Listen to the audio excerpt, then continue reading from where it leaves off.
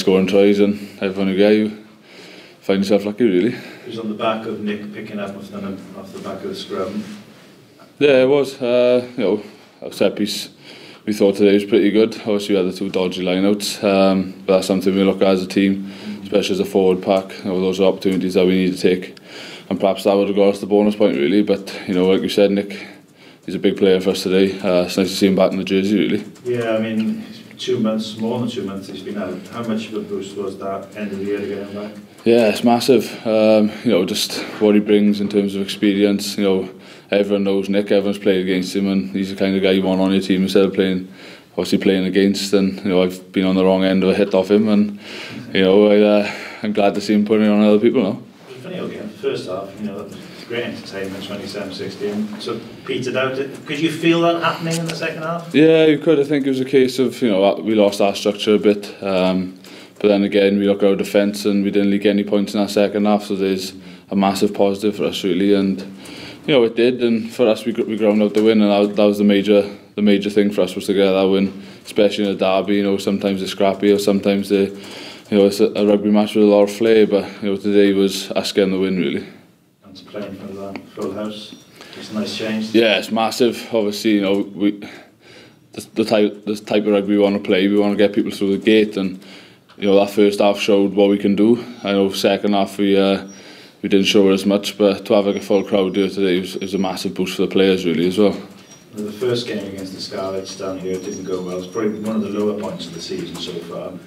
So you go there now, New Year's Day, bit of a point to prove against them. Yeah, there is, but you know, like it's, it's a derby, and every every derby you want to prove a point, and you know whether it's for like our supporters, for management, like Welsh management, you know, there's so much that, that can ride on these derbies, and you know the passion that goes into them. You know, it's going to be a massive game, and like like you said, we didn't do well the first. Uh,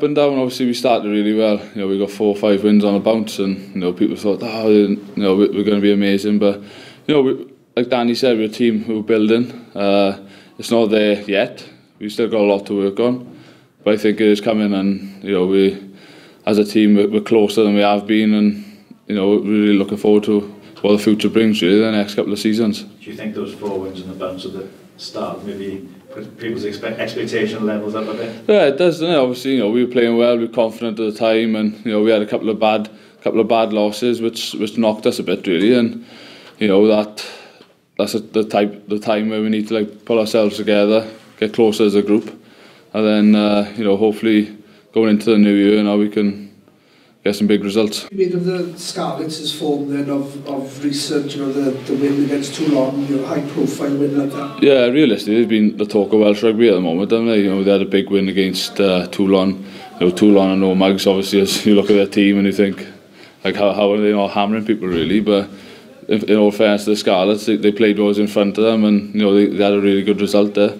So I'm sure they're going to be firing for the Ospreys tomorrow, and I'm sure they'll be firing for us at home on the first, really. Are any um, New Year's resolutions rugby or non-rugby related?